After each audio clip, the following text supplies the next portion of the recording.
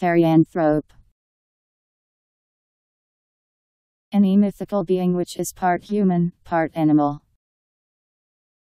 Someone with an intense spiritual or psychological identification with the non human animal. Therianthrope synonyms Therian.